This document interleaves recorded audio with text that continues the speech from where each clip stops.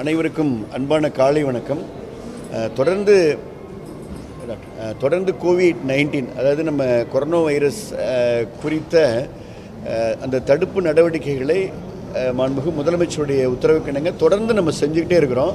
இதில் ரெண்டு சவுண்ட் இல்லைம்மா. ரெண்டு மூணு விதம் அதாவது ஒன்று வந்து நம்ம மிகப்பெரிய ஒரு விழிப்புணர்வை பொதுமக்கள்கிட்ட ஏற்படுத்தல் அந்த பணிகளும் போயிட்டுருக்கு இன்னொன்று தேவையான ப்ரிப்பேர்னஸ் அலர்ட்னஸ் அந்த பணிகளும் போயிட்டுருக்கு இன்னொன்று மருத்துவமனைகளில் நம்முடைய கட்டமைப்பு வசதிகளை மேம்படுத்தி எதையும் எதிர்கொள்வதற்கு தயாராக எடுக்கக்கூடிய அந்த ஒரு விஷயத்தையும் அரசு தொடர்ந்து செஞ்சிகிட்ருக்கு இன்னொன்று பொதுமக்கள் வந்து அந்த எப்- எந்த மாதிரியான சுச்சுவேஷனில் ஸ்ப்ரெட் இருக்கும் எதை எதை நம்ம அவாய்ட் பண்ணுன்றதுக்காக பல்வேறு முன்னெச்சரிக்கை நடவடிக்கைகளை பள்ளி கல்லூரி விடுமுறை போன்ற பல்லு பல அறிவிப்புகளை மாண்புமிகு முதலமைச்சர் தெரிவிச்சுக்கிறாங்க. தேவையான நிதி ஒதுக்கீடு கொடுத்துக்கிறாங்க. இந்த மீட்டிங் பார்த்தீங்கன்னா டாக்டர் எம்ஜிஆர் மருத்துவ பல்கலைக்கழகத்தில் டாக்டர் சுதா சேஷன் அவர்கள் ஒரு இன்டர்நேஷ்னல் லெவலில் இருக்கக்கூடிய எக்ஸ்பர்ட் குறிப்பாக நம்முடைய உலக டபிள்யூஹெச்ஓ இருக்கக்கூடிய சீஃப் சயின்டிஸ்ட் சௌமியா சுவாமிநாதன். அப்புறம் அங்கே இருக்கக்கூடிய அட்லாண்டில் இருக்கக்கூடிய நம்முடைய தமிழகத்தை சார்ந்த அங்கே உயர் பதவியில் இருக்கக்கூடிய மருத்துவ விஜயகுமார் வேலு போன்ற உயர் மருத்துவ நிபுணர்களை வந்து அவங்க வந்து லிங்க் எடுத்திருக்காங்க ஸோ இந்த லிங்க்கில் என்ன அப்படின்னா இப்போ இங்கே வந்து எங்களுடைய deans medical treating doctor medical experts எல்லாம் இங்கே இருக்காங்க. ஸோ அதாவது அங்கே குளோபலாக என்ன சுச்சுவேஷன் ஸோ என்ன மாதிரி இப்போ வந்து ட்ரீட்மெண்ட் மொடாலிட்டிஸ் குறிப்பாக வந்து புதிய இப்போ ஸ்ட்ராட்டஜிஸ் அது மாதிரியான பல்வேறு டவு டவுட்ஸை வந்து நம்ம கிளியர் பண்ணுறதுக்கு இந்த இன்டர்நேஷ்னல் மீட்டிங் eh, வந்து ஒரு பெரிய உதவியாக இருக்கும். நானே இதில் டவுட்ஸ் கேட்டேன். எட்நூறு பேர் வந்து டைரக்ட் லிங்க்கில் இருக்காங்க ஐஎம்ஏ அதாவது இந்தியன் மெடிக்கல் அசோசியேஷன் இப்போ டாக்டர் ராஜா இருக்கார். அனைத்து தனியார் மருத்துவ நிபுணர்களும் இதில் லிங்க்கில் இருக்காங்க. அரசு மருத்துவர்கள் மற்றும் ஸ்டூடெண்ட்ஸு பிஜி ஸ்டூடெண்ட்ஸ் இங்கே வந்து டைரெக்டாக வந்திருக்காங்க. ஸோ இன்னும் வந்து மேடம் வந்து இது இந்த இந்த கண்டெயின் அதாவது இந்த ஓவராலாக இந்த மீட்டிங்கை முடிச்சுட்டு இதில் நமக்கு கிடைக்கக்கூடிய நல்ல விஷயங்களை ஒரு உடனே இமீடியட்டாக ஒரு ஒரு பேம்ப்ளெட்ஸ் மாதிரி போட்டு ரிப்போர்ட் சப்மிட் பண்ணுறேன்னு சொல்லிக்கிறாங்க. ஸோ இந்த மாதிரியான நேரத்தில் பொதுவாக மருத்துவ நிபுணர்களுக்கே ஏன்னா அது ஒரு புதிய வைரஸ் வந்தே மூணு மாதம் தான் ஆகுது. ஸோ புதிய வைரஸுடைய அது கேரக்டர் எப்படி இருக்கும்? ஃபியூச்சர் எப்படி இருக்கும்? செகண்ட் இன்ஃபெக்ஷன் இருக்குமா? ஸோ எப்படிலாம் நம்ம ட்ரீட் பண்ணலாம்? மற்ற நாடுகள் எப்படி பண்ணுறாங்க இப்போ அமெரிக்காவில் இட்டாலியில் எப்படி பண்ணுறாங்க மற்ற நாடுகளில் எப்படி பண்ணுறாங்க சைனாவில் எப்படி பண்ணாங்கன்ற விஷயத்தை நாம் ஒரு அறிவுபூர்வமாக தெரிந்து கொள்ள வேண்டிய ரொம்ப முக்கியமான விஷயம் இது. அதனால தான் இந்த மீட்டிங்கை வந்து இன்றைக்கு வந்து நம்ம வைஸ் சான்சலர் அரேஞ்ச் பண்ணிக்கிறாங்க. நானே இந்த மீட்டிங்கில் கலந்து கொண்டு ஒரு சில டவுட்ஸ் கேட்டு அப்படியே ஸ்டார்ட் பண்ணிக்கிறேன். ஸோ அதனால் இதில் உங் பத்திரிகை ஊடகத்துறை நண்பர்களுக்கு நான் என்ன சொல்கிறேன்னா ஸோ இந்த மாதிரியான விஷயங்களை நீங்களும் ஊடகத்துறை நண்பர்கள் நிறைய விழிப்புணர்வு செய்திகளை வெளியிடுறீங்க. நான் தொடர்ந்து பார்த்துட்டு இருக்கேன். என்னுடைய நன்றிகளை மீண்டும் மீண்டும் நான் உங்களுக்கு தெரிவிச்சுக்கிறேன். ஏன்னா நீங்கள் கேட்கக்கூடிய ஒவ்வொரு கேள்வியும் நான் சொல்லக்கூடிய பதிலும் பல்வேறு நிபுணர்கள்ட்ட நீங்கள் வாங்கி போடக்கூடிய செய்திகள் வந்து நிச்சயமாக பொதுமக்களுடைய பயத்தை பதட்டத்தை தணிப்பதோடு அதே நேரத்தில் ஒரு விழிப்புணர்வையும் ஏற்படுத்தணும் ரெண்டுமே நமக்கு ரொம்ப முக்கியம். ஸோ தொடர்ந்து வந்து நம்ம இந்த இந்த பணிகளில் நம்ம எல்லாருமே முழுமையாக நாம் அனைவரும் ஒன்றிணைந்து பண்ணுறோம் இந்த நிகழ்வு என்பது இந்த இன்டர்நேஷ்னல் இந்த வெப் லிங்க் கான்ஃபரன்ஸ்ன்றது ரொம்ப வெரி எஃபெக்டிவ் வெரி இம்பார்ட்டன்ட் நமக்கு வெரி யூஸ்ஃபுல் அதுதான் ரொம்ப முக்கியமான விஷயம். ஸோ இந்த விஷயங்களை எங்களுடைய மருத்துவர்கள் இன்னும் உள்வாங்கி கொண்டு மேலும் ஒரு சிறப்பான வந்து அந்த நோயாளி நம்ம அணுகுமுறைகளை வந்து நம்ம வந்து அதை மேம்படுத்தி கொள்வதற்கு இது உதவியாக இருக்கும். இது ஒரு நல்ல மீட்டிங் என்பதை உங்களோட தெரிவிச்சுக்கிறேன். ஒரு நிமிஷம். வி வீஸ் பேசுவாங்க அப்புறம் நான் கொஸ்டின் ஆன்சர் பண்ணுறேன் லெட் விசி ஸ்பீக் வணக்கம். மாண்புமிகு அமைச்சர் அவர்கள் குறிப்பிட்ட மாதிரி இந்த கொரோனா வைரஸுங்கிறது ஒரு இந்த ஸ்ட்ரெயின் இது வந்து ஒரு புது ஸ்ட்ரெயின் அதாவது வைரஸ் இந்த கொரோனா வைரஸை பற்றி நமக்கு ரொம்ப காலமாக தெரியும். இது கோழிகளில் மாடுகள்லாம் பல நோய்களை உருவாக்கித்து அப்படிங்கிறதெல்லாம் தெரியும். ஆனால் இப்போது ஊஹன் சைனாவில் பார்க்கப்பட்ட அங்கிருந்து உலகம் முழுவதும் பரவியதாக கருதப்படுகிற இந்த ஸ்ட்ரெயின் ரெண்டாயிரத்தி பத்தொம்போது டிசம்பரில் தான் முதல் முதலாக கண்டறியப்பட்ட ஸ்ட்ரெயின் அதனால் அந்த ஸ்ட்ரெயின் பேரை வச்சு தான் அதுக்கு கோவிட் பத்தொம்போது அப்படிங்கிற பெயரையே உலக சுகாதார நிறுவனம் கொடுத்துருக்கு. இந்த கோவிடை பற்றி நிறைய செய்திகள் சிலதெல்லாம் சரியான செய்திகள் சிலது சந்தேகத்துக்கிடமானவை சில தவறான செய்திகள் சமூக ஊடகங்களில் நிறைய பரவிக்கிட்டு இருக்குன்னு எல்லாருக்கும் தெரியும்.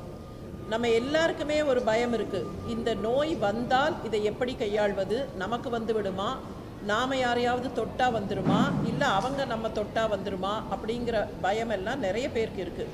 மருத்துவ உலகத்துக்கு கூட இந்த செய்திகள்லாம் கொஞ்சம் புதுசு. ஏன்னா இந்த நோயும் புதுசு. இந்த நோயினுடைய வரலாறும் ஒரு ஒரு மாதம் இரண்டு மாத கால வரலாறு. அதனால் இதை பற்றி எல்லாரும் சரியாக தெரிஞ்சுக்கணும். வேறு நாடுகளில் என்ன நடக்குதுன்னு தெரிஞ்சுக்கணும். அப்படிங்கிறதுக்காகத்தான் ஆஸ்திரேலியாவில் கோவிட் நோய் தொடர்பாக இருக்கக்கூடிய ஒரு குழு வல்லுநர் குழு.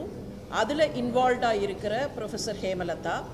அதே மாதிரி உலக சுகாதார நிறுவனத்தில் தலைமை விஞ்ஞானியாக இருக்கக்கூடிய doctor Soumya Swaminathan CDC Atlanta அமெரிக்காவில் சென்டர் ஃபார் டிசீஸ் கண்ட்ரோல்னு இருக்கிற அந்த சிடிசி அட்லாண்டா அவங்க தான் உலகம் முழுக்க இந்த நோய் எப்படி பரவுகிறதுன்னு ஆராய்ச்சி பண்ணிக்கிட்டு இருக்காங்க. அங்கே ஒரு தமிழர் இருக்கார் டாக்டர் விஜயகுமார் வேலுன்னு. அவர் இது தவிர நம்ம தமிழ்நாடு கால்நடை மருத்துவ பல்கலைக்கழகத்தில் கொரோனா வைரஸை பற்றி ரொம்ப நாளாக ஆராய்ச்சி நடந்துக்கிட்டு இருக்கு. இந்த ஸ்ட்ரெயின் இல்லைனாலும் முன்னால் இருந்த கொரோனா வைரஸ் ஸ்ட்ரெயினை பற்றி நிறைய ஆராய்ச்சி நடக்குது. அதை செய்யக்கூடிய டாக்டர் தினகர் ராஜு. அவர் வந்து அந்த வேக்சின்ஸ் எல்லாம் எப்படி பண்ணலாம் அப்படிங்கிற ஒரு ஆராய்ச்சியில் ஈடுபட்டிருக்கார். அவரை டாக்டர் விஜயகுமார் வேலுவும் எமரி வேக்சின் சென்டர்னு அமெரிக்காவில் இருக்குது கொரோனாவுக்கு ஏதாவது வேக்சின் கண்டுபிடிக்க முடியுமா? அப்படிங்கிற ஆராய்ச்சியில் இருக்காங்க. இவங்க எல்லாரையும் ஒரே இடத்துல ஒருங்கிணைத்து ஒரே இடத்துலனா ஒரே கூரையிலன்னு சொல்லுவாங்க. ஒரே ரூமில் ஒருங்கிணைக்க முடியாது.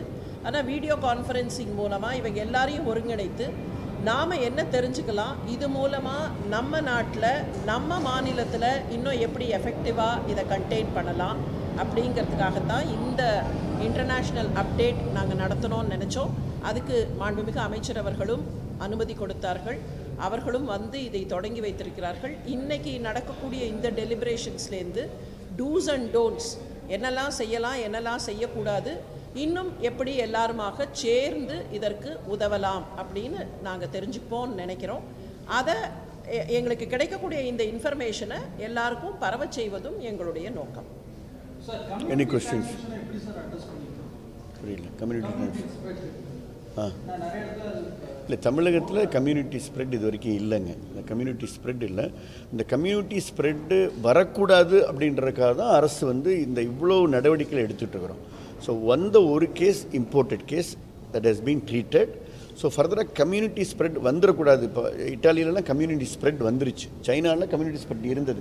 ஸோ அந்த கம்யூனிட்டி ஸ்ப்ரெட் வந்துடக்கூடாது கம்யூனிட்டி ஸ்ப்ரெட் வந்து முன்னாடி காண்டாக்டே ஸ்ப்ரெட்டே வந்துடக்கூடாது இந்த எப்பிடமியாலஜிக்கு லிங்கே வந்துடக்கூடாதுன்றது தான் அரசு முனைப்போடு இருக்குது அதனால தான் வந்து இப்போ ஒவ்வொரு நாங்களும் ஊடகத்தில் பார்க்குறோம் ஒரு சில கருத்துக்கள்லாம் வேறு மாதிரி வந்தாலும் கூட இந்த நடவடிக்கை என்பது நீங்கள் கேட்ட அந்த அருமையான கேள்வி கம்யூனிட்டி ஸ்ப்ரெட் வந்துடக்கூடாது வந்தால் அது மிகப்பெரிய சேலஞ்ச் ஆகிரும் அதனால் அது வரக்கூடாதுன்றக்காக தான் காண்டாக்ட் ஸ்ப்ரெட்டே வந்துடக்கூடாதுன்றக்காக தான் அரசு தேவையான நடவடிக்கை இருக்குது இம்போர்ட்டட் ஸ்ப்ரெட்டே வரக்கூடாதுன்றக்காக தான் செக்கிங் பண்ணுறோம் இன்ஃபேக்ட் இன்றைக்கி வந்து நம்ம வந்து அண்டை ட்ராவல் ஹிஸ்ட்ரி கூட அண்டை மாநிலங்கள்லேருந்து வரக்கூடியவங்கள காவல்துறை உதவியோடு நம்ம வந்து நிப்பாட்டி தெர்மல் ஸ்கேனர் வச்சு மருத்துவர்கள் வச்சு நம்ம வந்து இப்போ எல்லையோர பார்டர் செக் போஸ்ட்டில் எஃபெக்டிவாக நம்ம வந்து ஸ்டார்ட் பண்ணிக்கிறோம் தகவலுக்காக. தேர்வு எழுதக்கூடிய மாணவர்களுக்கு அஹ், அந்த தேர்வு மையங்கள்ல என்னென்ன முன்னேற்பாடு செய்யப்படும் சார்? கண்டிப்பாக செய்வோங்க. இப்போ வந்து பள்ளிகள் கல்லூரிகள் விடுமுறை விட்டுருக்கு. இதெல்லாம் டு அவாய்ட் ஓவர் க்ரௌடிங் நீங்கள் கேட்டது போல் டு அவாய்ட் கம்யூனிட்டி ஸ்ப்ரெட் அதனால தான் விட்டுருக்கு தேர்வு மையங்கள் ஏன்னா அது நம்ம தேர்வுகள் அது முதலமைச்சர் அவர்கள் மிகுந்த மாணவர்கள் மீது அக்கறை கொண்டு தேர்வுகள் வந்து பாதிக்கப்படக்கூடாதுன்னு சொல்லிக்கிறாங்க. அது அந்த தேர்வு மையங்களில் இப்போ என்ன முன்னெச்சரிக்கை நடவடிக்கை எல்லா இடங்களும் எடுத்துகிறோம் அது தேவையான முன்னெச்சரிக்கை நடவடிக்கை அவசியம் எடுக்கும். எடுப்பதற்காக உயர்கல்வித்துறைக்கு நிதி ஒதுக்கீடு செய்யப்பட்டிருக்கு. டிஸ்இன்ஃபெக்ஷன் அதாவதுங்க சர்ஃபேஸ் இன்ஃபெக்ஷன் ஆகக்கூடாது. நம்ம பல விஷயங்கள் இருக்குது அதனால் அது அதுக்கு தேவையான நடவடிக்கை உயர்கல்வித்துறை எடுக்க அறிவுறுத்துக்கிறோம் நிதி ஒதுக்கீடு செஞ்சுருக்கிறோம். அதாவது பொது சுகாதாரத்துறை மானிட்டர் பண்ணும்.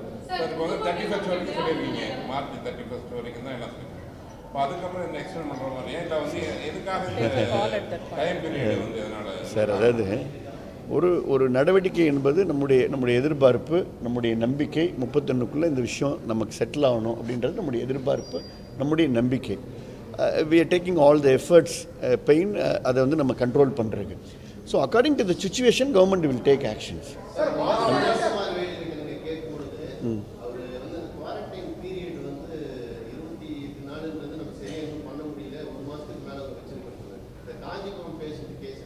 discharge இல்லை அதாங்க. அதாவது ரொம்ப அதை ட்ரேஸ் பண்ண வேணாங்க. அதாவது பத்திரிகை ஊடகத்துறை நண்பர்களுடைய திருப்பி அன்பான வேண்டுகோள். நான் சொல்லிட்டேன் அந்த நோயாளி பாசிட்டிவாக வந்தார். அதுக்கப்புறம் மேண்டேட்ரியாக யூனியன் மினிஸ்ட்ரியோடைய அட்வைஸ் படி நம்ம அவரை ட்ரீட் பண்ணி அதுக்கப்புறம் ரெண்டு மேண்டேட்ரி டெஸ்ட் எடுக்கணும் அது நெகட்டிவ் வந்துருச்சு. அவர் டிஸ்சார்ஜ் செய்யப்படுவார்னு சொல்லிட்டேன். அதை தாண்டி அவர் எங்கே இருக்கார் எப்படி இருக்கார் அப்படின்றத நீங்கள் ட்ரேஸ் பண்ண வேணாம். அது நோயாளியுடைய மெடிக்கல் எத்திக்ஸ்னு ஒன்று இருக்குது நான் அதனால் இது வரைக்கும் பேரே நாங்கள் ஊடகத்தில் சொல்லலை. அதனால் அஸ் அ மெடிக்கல் எத்திக்ஸ் படி தயவு செய்து அந்த நோயாளி எங்கே இருக்கார்? அவர் வீட்டுக்கு போயிட்டாரா? அங்கே இருக்காரா? அப்படின்ற கேள்விகள் தயவு செய்து தவிர்த்தல் நலம். அது நோயாளியினுடைய நலனுக்காக அவருடைய மனதை அது பாதிக்கும். So I hope you will all understand please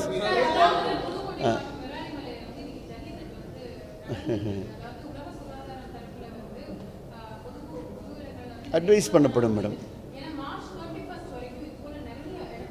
madam madam நம்ம தெளிவாக சொல்லிக்கிறோம் மேடம் அதாவது இன்ஃபேக்ட் நம்ம வந்து ஒரு திருமண ஊர்வலமாக இருந்தாலும் கூட துக்கமாக இருந்தாலும் கூட முதலமைச்சருடைய அறிக்கையில் ரொம்ப கிளியராக இருக்குது கோயில் தேவாலயங்கள் நிகழ்ச்சியாக இருந்தாலும் நீங்கள் சொல்லக்கூடிய இந்த ஜல்லிக்கட்டு உள்ளிட்ட திருவிழா நிகழ்ச்சிகளாக இருந்தாலும் கூட ஓவர் க்ரௌடிங்கை நம்ம அவாய்ட் பண்ணும் கூட்டம் கூடதை தவிர்க்கணும்னு சொல்லிக்கிறோம் அதை அந்தந்த துறை சார்ந்தவர்கள் எஃபெக்ட் கொண்டு வருவாங்க மேடம் அதாவது பொதுமக்களும் மேடம் சார் பொதுமக்களுக்கும் சங்கடம் ஏற்படக்கூடாது. இது ரொம்ப ஒரு கவனமான நடவடிக்கை. இது வந்து இரண்டு பக்கம் கூர்மையான கத்தி மாதிரி பொது ஒரு புறம் பொதுமக்கள் இப்போ நீங்களே மீடியா நண்பர்கள் கேட்குறீங்க சார் நாங்கள் எப்படி பாதுகாப்பாக இருக்கணும்? இப்போ கேரளாவில் மைக்கே வைக்கக்கூடாதுன்னு சொல்லிட்டாங்க.